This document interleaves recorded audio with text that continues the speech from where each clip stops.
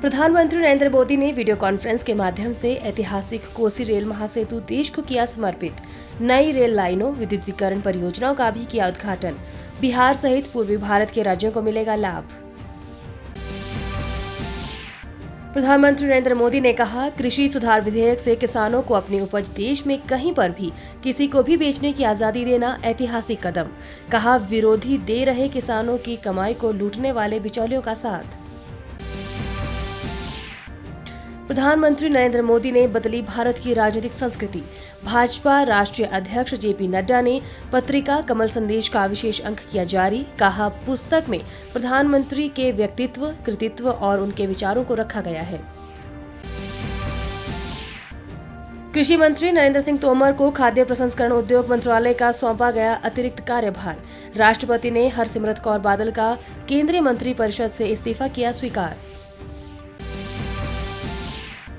Private jet के लिए देश की पहली जनरल एविएशन टर्मिनल फैसिलिटी शुरू।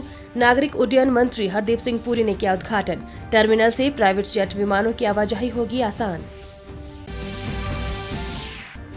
देश में कोविड से स्वस्थ होने की दर बढ़कर हुई साढ़े अठहत्तर दशमलव आठ छह फ़ीसदी। बीते एक दिन में स्वस्थ हुए बयासी हज़ार से अधिक मरीज़।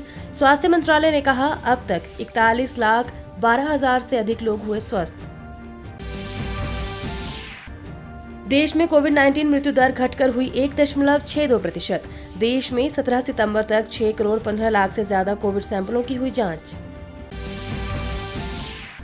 राज्यसभा में होम्योपैथी केंद्रीय परिषद संशोधन विधेयक 2020 और भारतीय चिकित्सा केंद्रीय परिषद संशोधन विधेयक 2020 हुए पारित।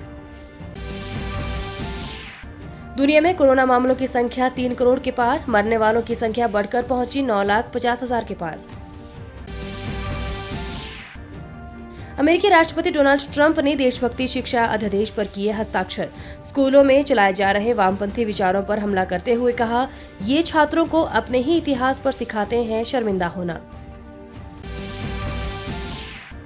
इटालियन ओपन बैडमिंटन प्रतियोगिता में बोपन्ना और शापोवालोव की जोड़ी क्वार्टर फाइनल में पहुँची।